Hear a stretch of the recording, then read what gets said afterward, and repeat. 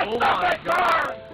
It's a law that's broken in nearly every county, every single day. Over 3,000 cars per day in North Carolina pass a stop school bus illegally while it's stopped to pick up kids. What we see in these videos is what our bus drivers have seen for years. Have you seen some pretty close calls? Uh, yeah. Yeah. And with more than 800,000 kids across our state relying on these buses, the danger is very real. The biggest safety problem for kids is not on the school bus itself, but it's getting on and off the bus. You'd think it'd be hard to miss a giant yellow bus, but the sad truth is, since 1999, 13 children have died simply trying to get to and from their school.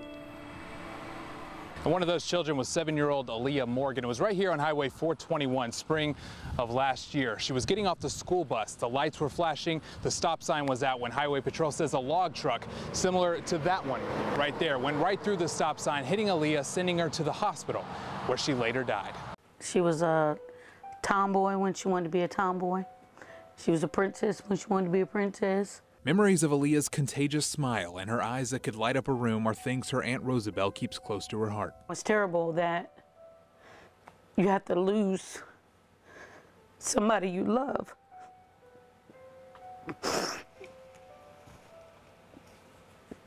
From for something so senseless that this person was in a rush or that person wasn't paying attention. The driver in this case was charged with involuntary manslaughter and DWI, but it's cases like these that are far too common, and with new technology, the proof is undeniable. The cameras are rolling at every bus stop.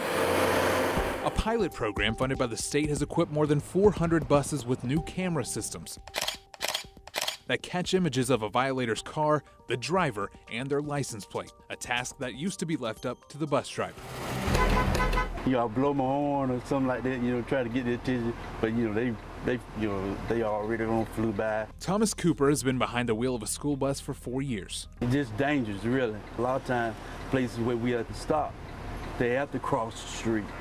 So I got to uh, constantly keep my eye on the child and the traffic. The rules for when you can and can't pass a school bus are simple. Anytime you're behind the bus and the stop arm comes out, you always have to stop. If you're driving in the opposite direction of the bus, you also have to stop, unless you're on a four lane highway divided by a median, or if you're driving on a road with four or more lanes with a center turn lane. And your cue is the lights. The bus will always flash its yellow lights first, indicating it's about to stop. Unfortunately, we have this mindset. You go through an intersection, a traffic signal, red, yellow, green, and yellow to too many people means hurry up. Yellow means caution. And on, on the school bus, my goodness, that's where you have to be cautious because you know the bus is getting ready to stop. That means there's kids around. WNCN Investigates took our cameras out to see for ourselves, and within minutes, we witnessed violators. Watch this one. The bus stops, lights on, stop arm out. The doors open, but then this convertible comes blazing through at full speed. We would love to have the situation where the cameras are not even needed because people are doing what they're supposed to do. But until that happens, then we're going to take the evidence off of these cameras to give law enforcement a tool to use to make sure that the motoring public pays attention or pays up. I mean, if you're going to find them, find them. Find them enough where it's going to make a difference. For Rosabelle, it's a call for stricter laws. And since 2001, lawmakers have been working on doing just that. The latest changes coming in 2012. It was increased to $500. It's five points on your driver's license. And it gets even worse if you were to strike or even kill a child. We're talking felonies. Several people could have prevented this. And that's all I'm asking is that people take notice.